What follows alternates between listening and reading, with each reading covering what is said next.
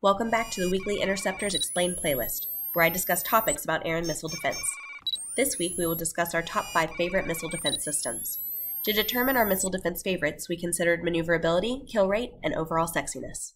At number 5 is the FIM 92 Stinger. Light to carry and easy to operate, the FIM 92 Stinger is a passive surface to air missile that can be shoulder fired by a single operator. The Stinger is a man portable system that can be adapted to fire from a wide variety of ground vehicles and helicopters. This weapon has seen service in many conflicts, including the Falklands Wars and the Syrian Civil War. Though there are multiple versions of shoulder fired surface to air missiles, the FIM 92 Stinger has remained a household name in short range air defense. Next on our list is the Crotale EDIR. The Crotale is a French all weather short range anti air missile which can be used to intercept low flight anti ship missiles and aircraft. It can be utilized from a ground base or sea base. The Crotale has seen several modifications throughout the years, the most recent being the Crotale Next Generation, or NG. The weapon system is developed by Thales Air Defense and is operational in France, Finland, Greece, Libya, Oman, and Saudi Arabia. Coming in at number 3 is the heavy hitting S 400 Triumph, known to NATO as the SA 21 Growler. Its predecessor was the S 300 PMU 2 Favorite, Particular strengths of the upgraded S400 series are extended reach, flexible targeting ability, used primarily for aircraft but also cruise and ballistic missiles, and sophisticated sensors. This Russian made air defense system is the strongest international competitor for the U.S. Patriot and THAAD weapon systems.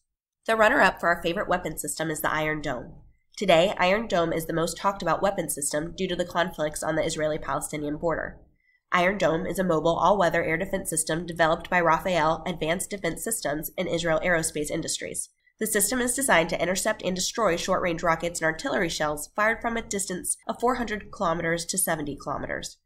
Iron Dome is also believed to be the most reliable, combat tested air and missile defense system in the world. Iron Dome boasts an incredible success rate, intercepting thousands of rockets. The weapon system has recently found a new buyer in the United States.